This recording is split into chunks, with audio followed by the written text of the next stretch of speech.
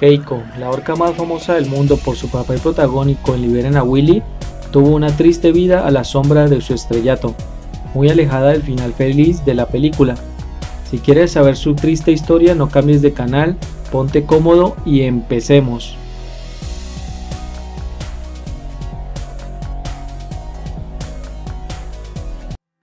Su historia comienza en 1979, cuando fue capturada en los mares de Islandia y fue llevada hasta Canadá. Cuando fue apresada contaba con dos años de edad aproximadamente. Debido a su juventud dependía de su madre para sobrevivir y aún se encontraba aprendiendo el dialecto y hábitos de su especie. Cabe señalar que las orcas viven en grupos y se comunican entre sí, para lo cual requieren la socialización temprana y constante. Tras ser capturada fue vendida a un acuario en Islandia, donde permaneció tres años junto a otras orcas. Dos años más tarde fue trasladada al Parque Meridan en Ontario, donde fue entrenada. Sin embargo, desarrolló algunas infecciones en la piel y su aleta dorsal sufrió algunos daños por la falta de movilidad. En 1985, el cetáceo viajó a México para ser vendida al Parque de Diversiones Reino Aventura del Distrito Federal, en esa ocasión se cerró el viaducto Miguel Alemán para que Keiko fuera transportada desde el aeropuerto en tan solo 15 minutos. ¡Este es nuestro reino, reino aventura! Y en Semana Santa, dos semanas de vacaciones como nos gusta. Este es nuestro reino, el reino de la aventura que nunca termina. El nuevo reino aventura tienes que vivirlo. Ya en su nuevo estanque Keiko era alimentada con 120 kilogramos de pescados diarios y tomaba vitaminas. Tenía cuatro entrenadores, un velador y ocho personas extras a su cargo. Como era natural, la orca siguió creciendo y el nuevo estanque pronto se quedó insuficiente para su tamaño. Pero así como su tamaño también creció su fama. Se lanzaron dos discos interpretados por Lucero con temas relativos a Keiko. En 1987 participó en el final de la telenovela Quinceañera, y en 1990 hizo la película Keiko en peligro. Sin embargo, su catapulta a la fama internacional fue Liberen a Willy en 1993, película que tuvo un gran éxito y de la cual se produjeron dos secuelas, como Keiko como protagonista.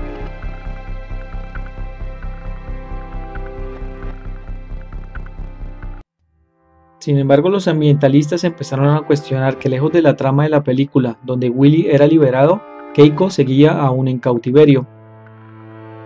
Poco a poco distintos medios iniciaron luchas para liberar a la orca, que vivía en un estanque de menos de 40 metros cuadrados, en el entonces Distrito Federal.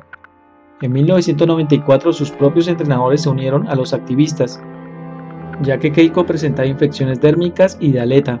Sus dientes estaban dañados debido a las mordeduras que realizaba en las orillas de la piscina y presentaba ansiedad patológica. Su esperanza de vida se reducía rápidamente, ya que su aleta dorsal se encontraba doblada por la falta de uso. Ese mismo año surgió la Fundación para Liberar a Keiko, creada por sus entrenadores en asociación con la Warner Brothers y por los activistas ecológicos. La fundación llegó a recaudar 20 millones de dólares para liberar a Keiko. Sin embargo, en 1995, Reino Aventura decidió donar a la orca, ya que recibía cada semana 1.500 cartas pidiendo su liberación. En 1996 México se despidió de Keiko, en medio de un operativo televisado transmitido en todo el mundo.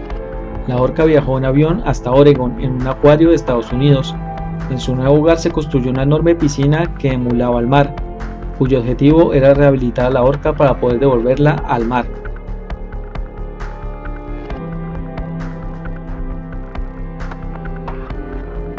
Después de 14 años de no tener contacto con agua salada marítima, Keiko comenzó a sanar sus heridas de piel y aumentó de peso. Poco después comenzaron a alimentarlo con peces vivos, pero en vez de comerlos se ponía a jugar con estos y se los regalaba a sus entrenadores, pues su instinto de caza no estaba desarrollado. En 1997 se empezaron los preparativos para regresar a Keiko a su lugar de origen, en una zona enrejada. Tras algunas enfermedades, finalmente el 11 de julio de 2002, Keiko recobró su libertad, convirtiéndose en la primera y única orca liberada tras su cautiverio. Así finalmente Keiko conseguía su libertad, pero los problemas apenas comenzaban.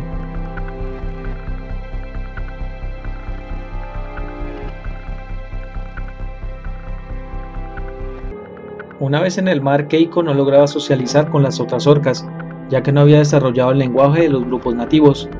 Debido a esto, el cetáceo más famoso del mundo permaneció buscando barcos, ya que sabía que ahí había humanos con los cuales podía interactuar. Aunque seguía a otras orcas con la intención de jugar, estas lo rechazaban. Ese mismo año Keiko regresaría a la bahía Takens con sus entrenadores. Lamentablemente Keiko no pudo disfrutar de su libertad por mucho tiempo, pues menos de un año después de su liberación Keiko tuvo una fuerte infección y moriría poco después.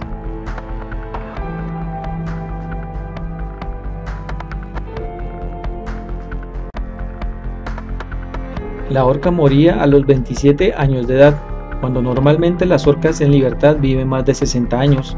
Irónicamente su cuerpo tuvo un funeral terrestre, símbolo final del fracaso de la reintegración de la orca a su hábitat natural y de la crueldad de los humanos hacia los animales.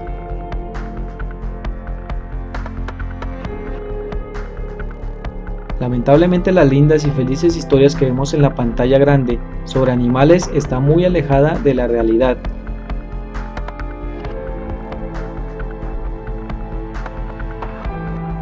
Pero ahora es tu turno. Dime si sabías de esta triste historia. Y si viste Liberen a Willy, déjame tu comentario. Y si este video te ha gustado, comparte, dale me gusta y suscríbete al canal. Muchas gracias.